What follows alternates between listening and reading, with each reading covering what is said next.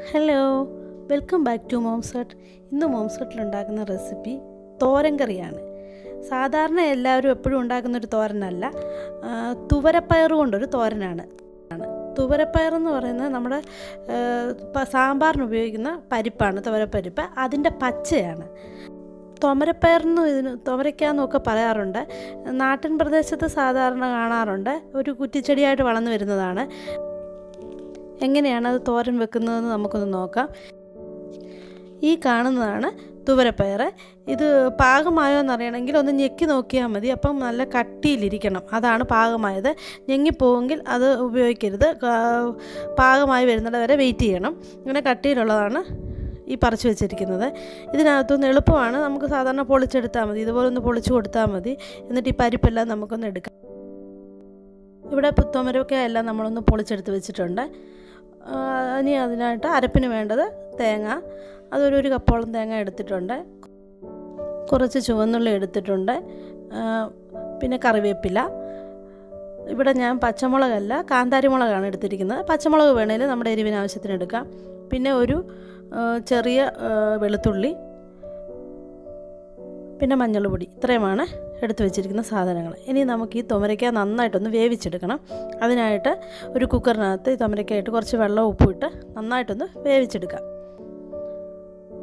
സാധാരണ പയറൊക്കെ വേവുന്ന കണക്ക് കുതിർത്ത് വെച്ച പയർ വേവുന്ന സമയം മതി. ഇത് വെന്ത് കിട്ടാനായിട്ട് ആ സമയം കൊണ്ട് നമുക്കൊന്ന് വേവിച്ചെടുക്കാം. ഞാനിപ്പം അരപ്പൊക്കെ ഒന്ന് അരച്ചുകൊണ്ട് വന്നിട്ടുണ്ട്.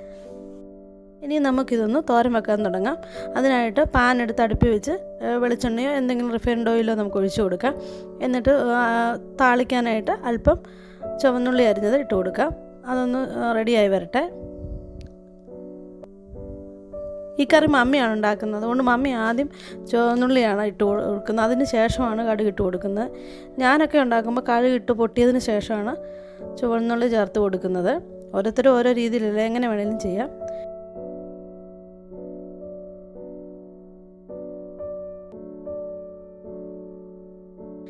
ഇപ്പോൾ ചുവന്നുള്ളിയൊക്കെ ഏകദേശം ഒരു പരുവമായി വന്നിട്ടുണ്ട്. ഇനിയും കടുക് ചേർത്ത് കൊടുക്കാം. കടുക് ഒന്ന് പൊട്ടി വരണം.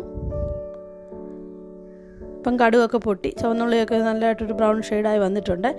ശല അല്പം കരിവേപ്പിലയൂടെ ചേർത്ത് കൊടുക്കാം.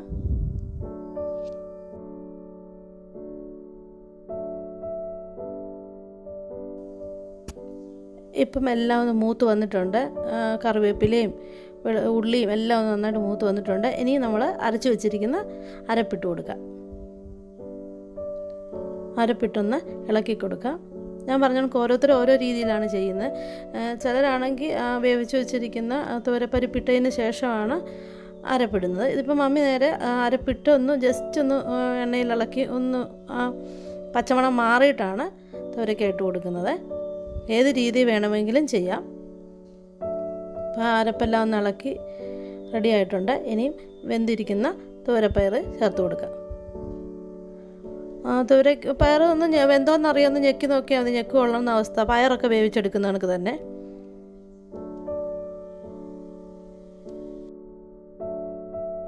ഇതെല്ലാം ഒന്ന് ഇളക്കി ആ അരപ്പും ഒക്കെ ആയിട്ടെല്ലാം ഒന്ന് യോജിപ്പിച്ചെടുക്കാം. ഉപ്പൊക്കെ വേണമെന്നൊന്ന് നോക്കാം. ആവശ്യത്തിന് വേണമെങ്കിൽ ചേർക്കാം. കാരണം തുവരപ്പയർ വേവിച്ചപ്പം അതിനകത്ത് അല്പം ഉപ്പിട്ടിട്ടുണ്ടായിരുന്നു. അതനുസരിച്ച് വേണം ഉപ്പൊക്കെ നോക്കി ചേർത്ത് കൊടുക്കാനായിട്ട്.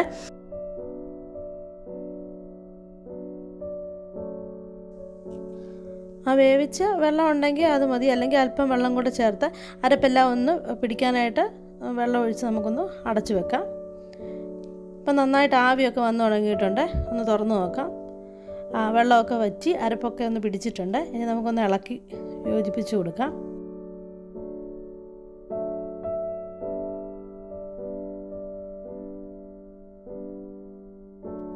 ഇത് എവിടെ നിന്നെങ്കിലും കിട്ടുവാണെങ്കിൽ ഇതൊന്ന് തോരൻ വെച്ച് നോക്കണം എല്ലാവരും. നല്ല ടേസ്റ്റിയാണ്. അങ്ങനെ എപ്പോഴും നമുക്കൊരു സാധാരണ വാങ്ങിക്കാനൊന്നും കിട്ടുന്ന ഒരു സാധനമല്ല. എങ്കിലും കിട്ടുമെങ്കിൽ എല്ലാവരും ഒന്ന് ട്രൈ ചെയ്ത് നോക്കുക തന്നെ ചെയ്യണം. നല്ല ടേസ്റ്റാണിത്.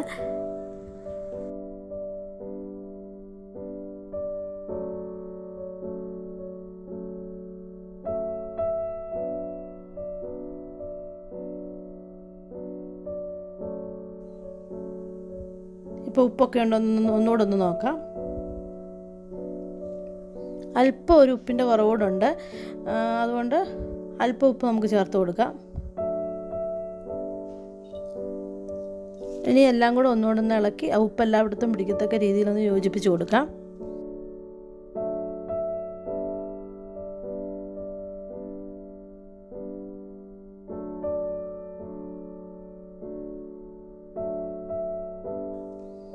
വെള്ളമൊക്കെ പറ്റി നല്ലൊരു തോരന്റെ പരുവമായിട്ടുണ്ട്.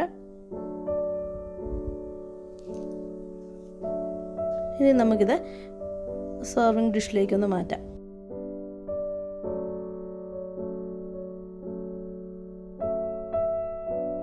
ഇവിടെ വളരെ ടേസ്റ്റി ആയിട്ടുള്ള തുവരപ്പയർ തോരൻ റെഡി ആയിട്ടുണ്ട്.